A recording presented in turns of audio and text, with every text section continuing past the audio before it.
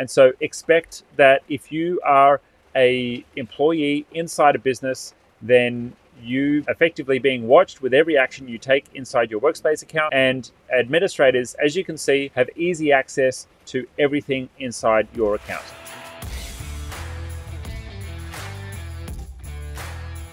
Can the admin read my Google chat with my colleague? Short answer to that one Yes, we get this question all the time, and effectively, there's a curiosity of what can my Google admin read inside my Google account? And the short answer is in pretty much everything. If you have a work or university or school or organization issued Google account, you should expect that the administrator can read, access, see, and even, you know, make reports on anything happening inside that account. Now, not only is the admin panel going to show you insights and logs on every single change that's made, and I'll show you that in one moment. But you can also be sure that if someone is an administrator and they have the ability to reset your password, well, they can go into all of the history of your account as you. After they've reset your password, they can easily log in as you. And most businesses or organizations will have a policy whereby if they have a Google account under their control, well, they have the right to access any of the data within that account. So if you've sent chats to someone inside a Google account,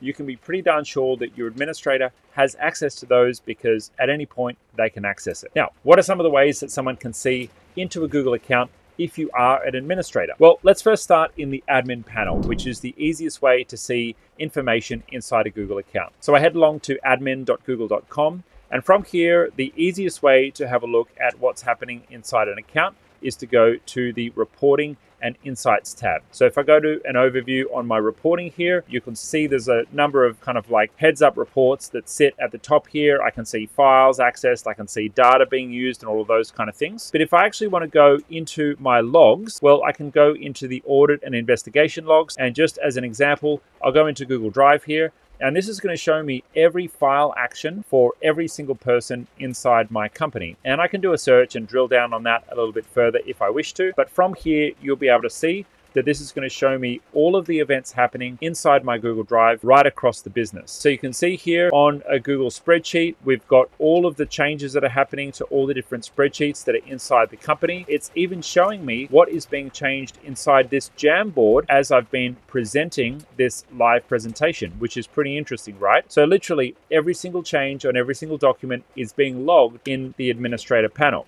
Okay, that's one way. The next way is through Google Vault. So if I go to ediscovery.google.com, which is how I access Google Vault as an administrator, well, I can then run reports and that will show me any emails that have been captured, and that also includes chat logs as well. So if I want to access something inside my Google Vault, well, that's going to allow me to see any of the chats back and forward within somebody's account. Finally, if I want to access a user account of an employee who has left a business or left an organization, all I need to do is reset their password and I can access all of their account. It's pretty simple and straightforward to do.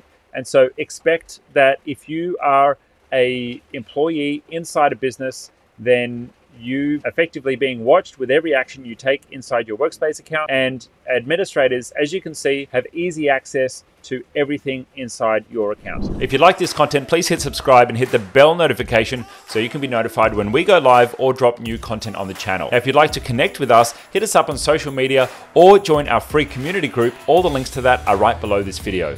If you'd like to learn more about Google Workspace and the technology ecosystem, you can join our free Genius Academy by transferring your billing across to IT Genius. Or you can join a Workspace Basics Bootcamp.